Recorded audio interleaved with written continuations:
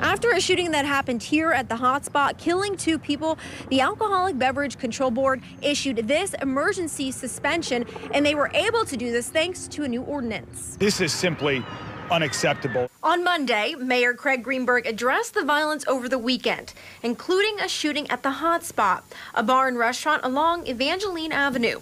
In March, Metro Council passed an ordinance allowing Metro ABC to issue immediate emergency license suspensions to prevent violent crime at bars. When owners take advantage, when they are negligent in their responsibilities, we are going to take action. The ordinance came in response to other similar incidents, such as a shooting in March that killed one person at Cafe 360 and Southern Restaurant and Lounge last August, where two were killed.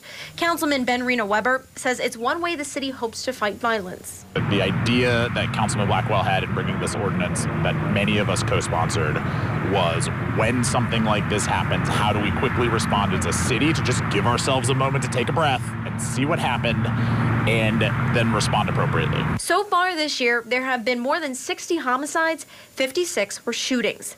These numbers trouble community advocate Will Pitts, who founded a nonprofit focused on community engagement called Millennium Enterprise Foundation. We are losing people. We are losing we are losing things that can't be replaced. You go kill somebody else and then they come kill you or they come kill your friend, guess what? All that that you've done or all that that you did, it, it went in vain. He says a part of violence interruption is starting young. Many of his programs focus on kids, such as his Shoot Balls, Not Guns basketball tournament. Trouble is always knocking at the door.